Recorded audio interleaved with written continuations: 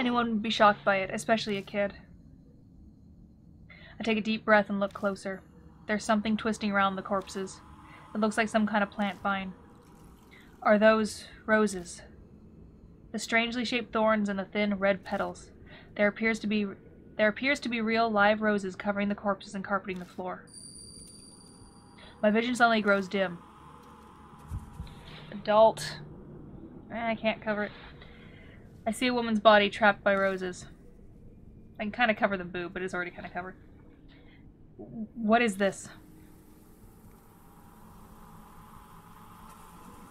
The tragedy that happened in this room. It's as if it's all playing out in my head. I can see it.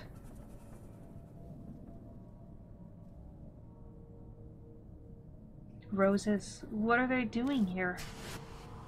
Did someone plant them? Moe's voice brings me back to reality. Yeah. I can't tell them what I saw in the waking dream. I scrambled to remember the conversation. That's right, I saw the rose vines then. Yeah, that's got to be it. It's not like they just spring up on their own. But why would anyone do that? Did someone decorate the corpses for some kind of reason? Or did they die cap captured by the roses like I saw in my vision? Hmm. Moe screams. I'm not screaming. What's wrong? Something moved. See, over there. Back in there. No. Is something hiding in there? I hastily search the corpse. Something flashes within the vines by its feet. Got round hand mirror. Looks like a gift from for a young woman. A mirror. A mirror? Mirror. I guess someone was here after all.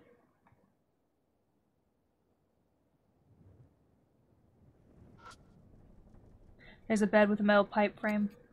The mattress is oozing dark, dirty water.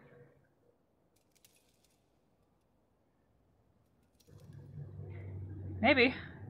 The mattress is oozing dark, dirty water. It smells like sewage. I slide the mattress over and find a plastic sheet underneath it. Got vinyl sheet. It's pretty thick. Was it put there to protect from water damage? The top of the sheet is pitch black. At first glance, it looks like it's covered in mold. But when I spread it open, it crunches as dark red flakes fall from it.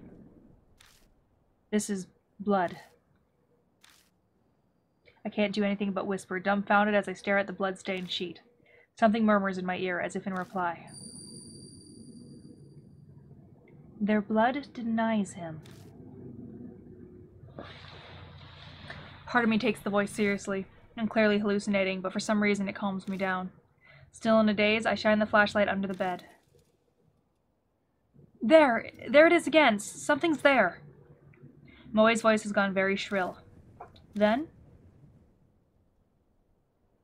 I'm trying to figure out what voice to give this guy. Like,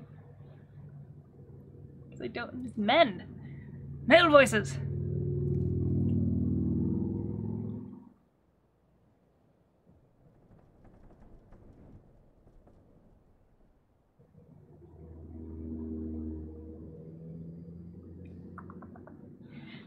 Sip water is what I'm gonna do.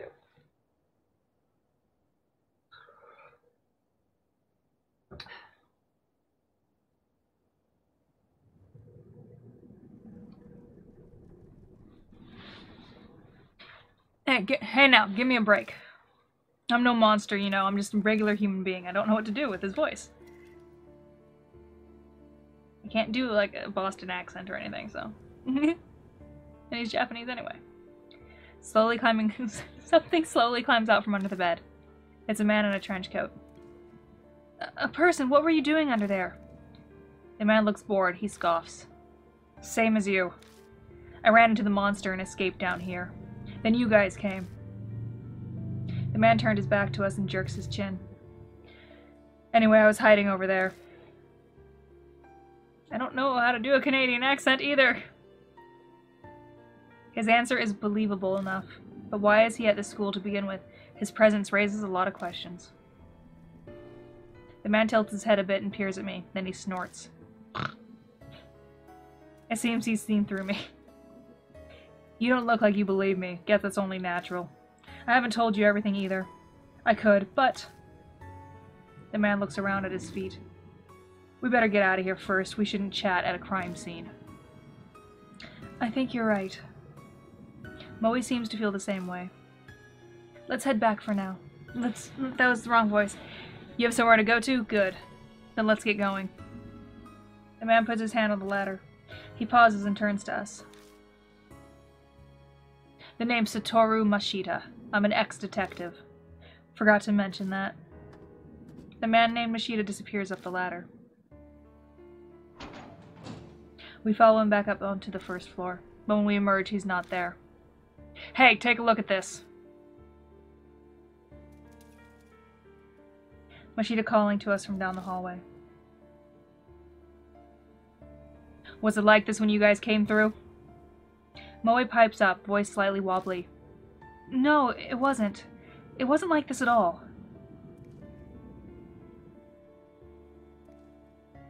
Something's creeping along the hallway. They're rose vines. Thought so. I didn't see them before either.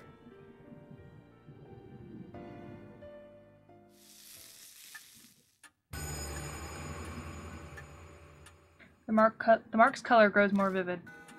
Early dawn, a few hours left until death closes in.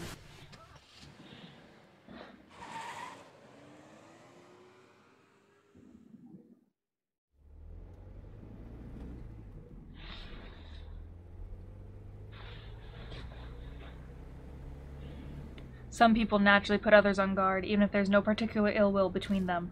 That's exactly the type of person Mashita is. Oh, you've got some nice stuff here. The moment he climbs into the car, he makes a grab for my bag. Then he starts inspecting all of my stuff. I wasn't planning on keeping a constant eye on him, but he's making it very hard not to. Moe seems like the type to stick her nose in everything, but she's suspiciously silent, as if exhausted. Are you okay, Moe? Huh? Uh, oh yeah, just zoning out, you know. I'm fine. She doesn't look fine, but... My other passenger is much more of a concern right now. So, were you at the school because you were investigating something? I'm not on the force anymore, just poking around for my own reasons. Something I want to check. I don't doubt what he says, but that would mean he entered the school illegally. What were you? Let me ask you one thing first. Mashita interrupts my question and points to my arm. Does that hurt? It didn't take him long to spot the mark on my wrist. Sometimes it hurts the most whenever I'm in danger. Huh, is that so? Mashita leans back in his seat, satisfied. I was investigating some missing people. Guess he's responding to my question now. That school came up in a number of missing person cases. Each one had some affiliation with H Elementary before they disappeared. Teachers, workers, people in the PTA, students and their family members. I was looking for them. Then... Moe speaks up from the back seat. Were those people... the corpses down there? She doesn't sound as energetic as she usually does. Did something happen after all? Is her mark... Mashita doesn't reply. Maybe he thinks the answer's obvious, or maybe replying to a kid isn't worth his time. But something bugs me about what he said. If the school was clearly suspicious, then... Of course I brought it up to my superiors. All I got for it was... He continues before I can ask, making a slashing motion across his neck. You got fired, huh? Disciplinary discharge or something about sexual harassing as her subordinate. That principal's gotta have some kind of political pull. I probably dug up something he didn't want getting out. That wasn't my plan, I never meant to uncover anything dirty. True, the school didn't, did have that suspicious room. It's not that strange to think it would have come up in some missing person cases. That would be common sense, at least. But common sense is for the world of the living. A spirit might have something to do with those cases. There's an awkward silence. In that sense, this isn't even a case anymore, is it? Mashita sighs deeply. Who'd have believed it? Who would believe that there's a monster that that school killing who would believe there's a monster in that school killing people? It's personal now. Our problem, and we're on our own. He turns his wrist over and shows it to me. On his skin is the familiar mark. You too? Yeah, I sensed it as soon as I saw yours. I had a feeling this'd be a problem. We're in the same boat, you and I. He has good instincts. We should talk more when we get back. At Kujo Mansion, there's some I stopped myself from finishing my sentence. I shouldn't mention that for now. In any case, once we get back, we'll give you more details. Yeah, I'm sure that'll help him a bunch. But Mashita scoffs. Help, huh? You're underestimating me.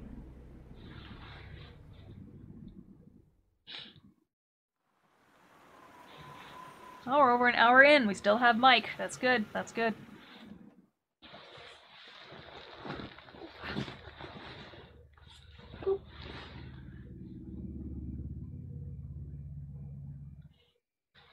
When I get out of the car, someone's there to greet us.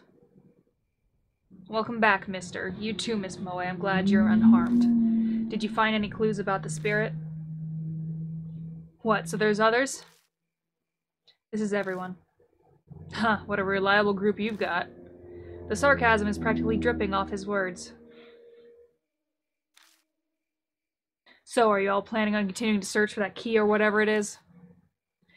We don't have anything else to go on. There's no other choice. I don't understand you. If the source of the mark is the spirit, it would be best to destroy the source, don't you think? What do you mean? The spirit exists, so all you have to do is kill it. Are you serious?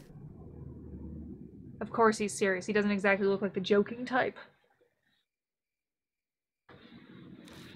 Even if he managed to kill it, will that really make the mark disappear?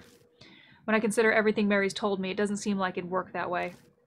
Even assuming it did, we have more fundamental problem. And how do you plan to kill it? I'll figure something out. If something exists, there's logically a way to destroy it as well. He claims he can kill spirits, yet he doesn't even know how he'll do it. Where does all that confidence come from? Don't forget, I faced him once already. If we're seriously thinking of killing him, Mashita grasps his wrist. The little shit shot some kind of thorns at me from a distance. They hit hard enough to stick in concrete. There's no way to get close to him. We have to make that a priority. Mashita pulls something out of the heel of his shoe and tosses it at me. It's a thorn curved like a fang. The only reason I'm still breathing is because I was lucky. It won't happen next time. We need a plan. He jumps around on the things he thinks we should do. As we head to the entrance, I tell Mashita about Kujo Mansion. He takes it all in silently. Even bringing up the talking doll or Seiya Kujo's death doesn't trigger a reaction. Is he so unnervingly calm because he's already dealt with the supernatural? We reach the main hall, which is warmly lit. This is a strange mansion, but for some reason I feel like I've come home. Acclimatization is kind of terrifying.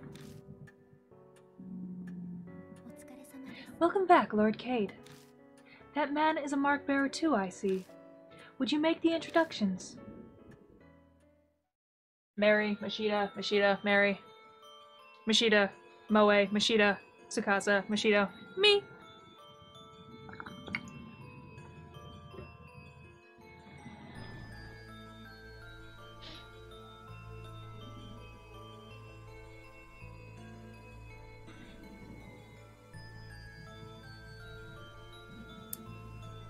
I update Mary on our investigation and the strange way we met Mashita. The mirror, the underground room full of corpses, the sudden appearance of roses. I really hate to admit it, but it's clear something supernatural is at work here. And the spirit that caused all of it? Hanahiko. There's no doubt that Hanahiko is the one who put the mark in Mashita's arm, too. But...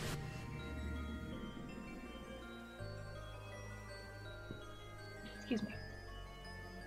What kind of chance do we have against a monster that can do that? Mashita says we should kill him, but is that even possible? Hey, Cade. My train of thought is interrupted. Mashita is holding a leather-bound notebook out toward me. Read this. I picked it up in that underground room. It was caught up in a bunch of those rose vines when I found it. It was pretty hard to get loose. Did you read it yet? I skimmed through a bit. It's got some interesting stuff. That's what he says, but he's not smiling at all. His eyes simmer with a quiet anger. Dark red marks stained the cover. I have a bad feeling, but I flip through it. Rose petals fall as they become unstuck from the pages. The notes within are very detailed. The author was intelligent and well written.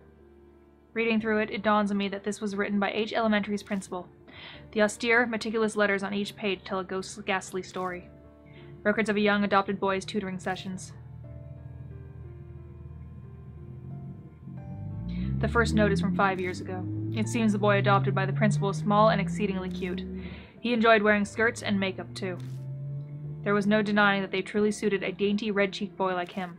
But the principal had a hard time accepting such fancies. Bad habits must be corrected young to promote sound mental health, he thought. So he called it tutoring as a cover for his warped desires. They took place in the underground room. Too many prying eyes everywhere else. There was no safer place in the school at night once all the teachers had left. The principal stayed behind under the pretense of keeping watch, then tutored. He was a highly respectable teacher. He'd even made appearances on TV. There was no reason to be suspicious. The only one who noticed anything strange was the boy's homeroom teacher, but she feared the principal's power and firmly kept her mouth shut.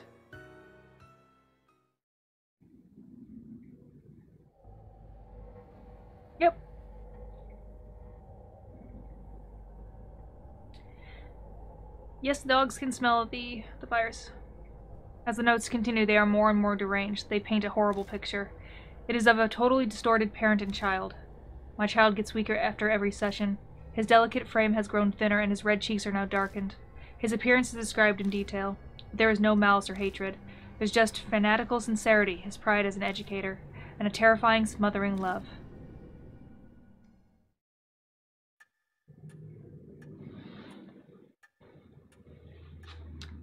It continues like that to the very last page. There's no mention of what became of the principal and the boy. But going by the current state of H Elementary, I can hazard a guess. You don't look so well, mister. What was in the notebook? Tsukasa peers at me. He and the boy in the notebook are about the same age. This isn't stuff you should share with a kid. I better just sum up the main points for him. That's terrible. We children are always the victim of, of ego, the ego of adults. Stupid grown-ups are irredeemable. Why he'd say that makes sense. The revolting evil of the adults and the poor boy who became a victim. But is that really the end? If Hanahiko and the boy in the notebook are connected, then the boy turned into a monster. Is that even possible? Untimely deaths produce hatred. Death does not bring it to an end. Such festering sentiments can give birth to the supernatural. Monsters, ghosts, vengeful spirits, they have many names. I believe that you have all heard of one or two such stories. Hanahiko is similar. Mary's words are hard to swallow, but after all these weird events, it only makes sense to accept them. If I turn my back into the truth, all that will await me is death. Then Hanahiko really is a monster. We must form a plan. Yes. We must form a plan based on that hypothesis. Mary is silent a moment. Incidentally, According to Lord Cade's report, there are those among you who are considering killing the spirit. I shall warn you just in case, but this, that will be very difficult to do. Why is that? I could see Mashita's eye, narrow his eyes, but I made sure to speak up first. They are from the world of the dead. Just as the living cannot become more alive, the dead cannot be killed. The only thing you could possibly destroy is the cursed sentiment. So what does that mean? It is as I told you before. Death and life exist together. If that is the origin of the mark, then a way to erase it will be there. By driving away the spirit, the curse will also be eliminated. So defeating Hanahiko is how we'll be able to destroy the mark. Setting aside how he can't be killed. What exactly is the key then? It is nothing more than a concept, so I am unsure, but I am certain of one thing. Fate ties the spirit to its place of birth. An object there may be able to fulfill the role of the key. It is as difficult a concept to grasp, but that is just how spirits are determining the nature of the key. That will decide your fate. I had a feeling. We'll just have to keep digging around at H Elementary. We don't know what the cursed sentiments are or the key to destroying the grudges are. Gaining the key and lifting the grudge is the only way to survive. You will be required to be callous to make use of the spirit's fear. The way to repel the spirit lies within its grudge. Remember this and be careful.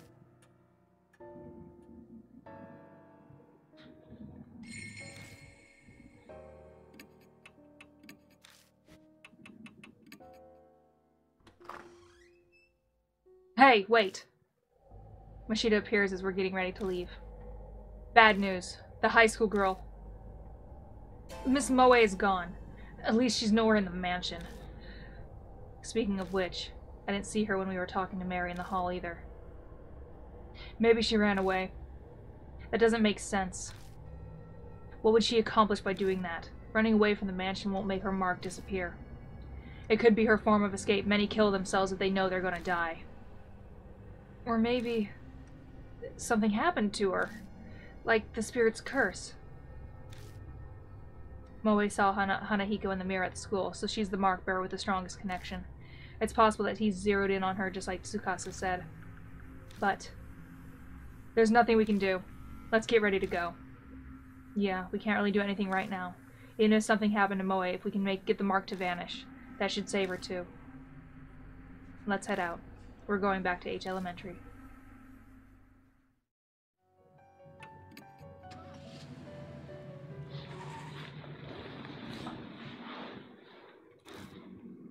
We've come back to H Elementary. I know full well that in the end this place is just a school. Let's go.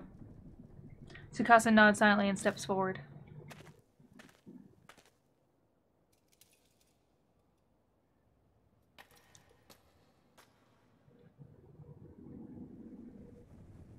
We saw it earlier, but the hallway that has completely transformed. Seeing them like this. Are roses really all that pretty? When you look close, they're scary. Huh? What's that? Tsukasa suddenly speaks up. Where? By the window. See, over there. Something sparkling. The window? All I see are rose vines. I may as well check it out, though. Hmm. Something's glinting over by the window. Looks like something buried in the rose vines. There's definitely something there. I didn't notice it before. No, maybe it wasn't there yet when I passed through earlier. That guard from that guard from before, did he drop that? How would you know you weren't here? Maybe. It might have fallen on the floor and been lifted up by the vines. It's only now that it's high enough to be spotted.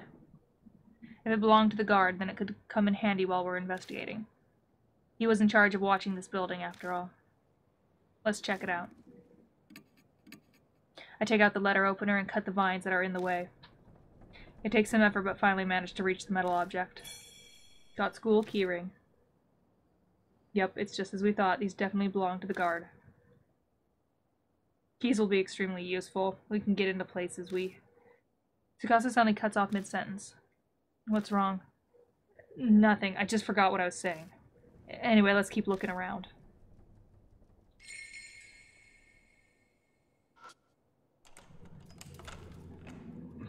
Yes, roses are evil. Evil. But pretty. It only kind of scared me.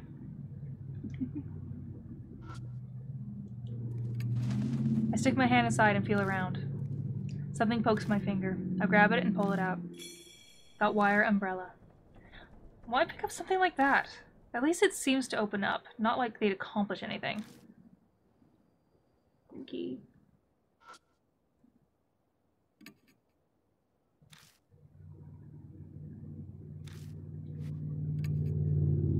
When you open an umbrella in a typhoon, it will break because the wind's too strong. So first I tried to put holes in the umbrella, that way it wouldn't break in a strong wind. Note, when using it, put a plastic sheet in it to transform it to an extra strong umbrella. The strength an umbrella protects from thorns and branches blown by the wind. Is this kind of... Is this... Is this kind of... Oh, wow. Is this kind of pathetic research normal at other schools? I'm almost jealous. Well, that's just rude. What, what's he going to be like as an adult? I know a kid did the research, but it's still silly. I have an idea. The umbrella we found earlier might have been part of the display for this research. Still, though, what's the point? I shrug and stuff it in my bag. I see the nicely folded dark plastic sheet among the garbage. Their blood denies him. Without conscious thought, I start speaking. Blood denies him. Does that mean to repel with blood? What's the matter? Give me a second. I pop open the wire umbrella. Then I spread the plastic sheet over it. Huh, just like it said in the research paper, you can create something like an umbrella, but it's not fastened on. It'd be impossible to carry it around like this. So we'll have to hold it together to use it. Thankfully, there's two of us here. One person to open the umbrella first, and one person to spread the sheet. If we manage a combo like that, then we can use the bloodstained sheet as an umbrella. Sorry to make you wait. Whatever. You aren't seriously planning to use that for something, are you? I'm not sure, but I get the feeling that everything here is here for a reason. I ignored the look of suspicion from Tsukasa by setting the flashlight in my hand.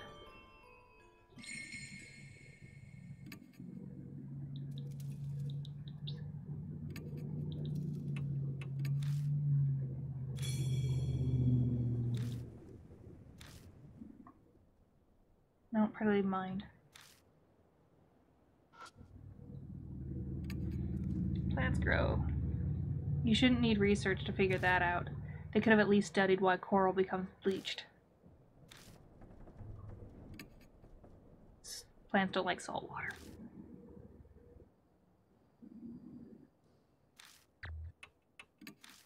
I ripped the research paper off the wall. Got plan to strengthen the wing.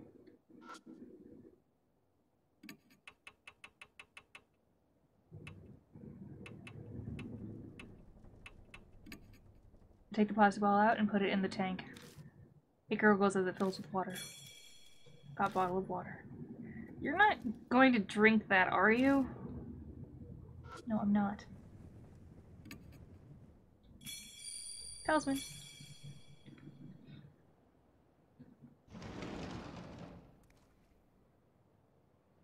Remember, she's not there. She's currently strung up in her underwear.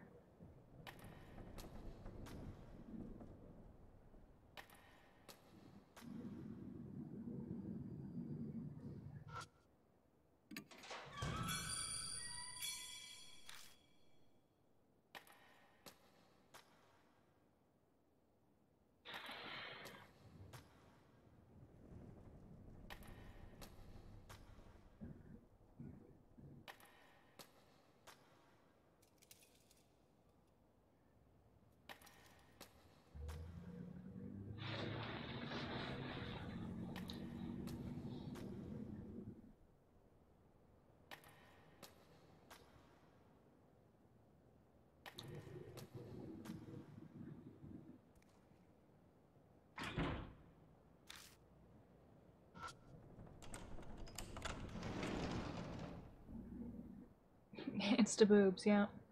I moved to seventh the classroom. And suddenly there's a strong grip on my shoulder. I glance at the hallway out of the corner of my eye. I'm pretty sure Tsukasa was on my other side. No, even if they were on this side, they'd have no reason to grab me. Live or die. C calm down, I'm just imagining things. My voice doesn't sound very convincing. Don't panic, it's an illusion. Calm down, hold it together. An icy chill envelops my right side.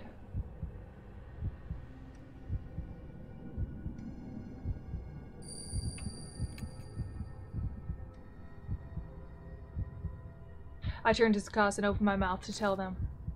When I do,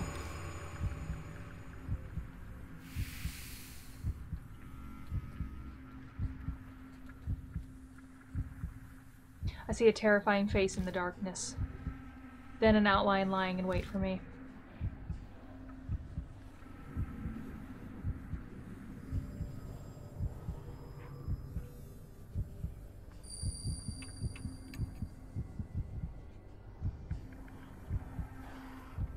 I squeeze my eyes shut and pray.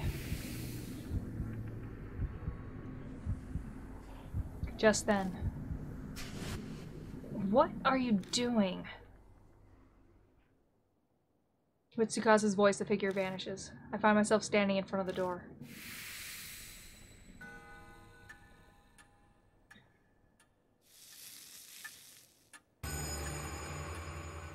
The mark burns scarlet.